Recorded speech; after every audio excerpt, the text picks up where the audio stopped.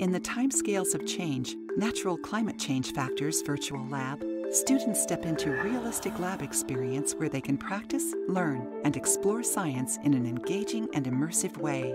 These simulations will help students connect astronomical, tectonic, evolutionary, and industrial factors that impact Earth's subsystems to climate change. Differentiate climate impacting factors by the duration and scale of their effect.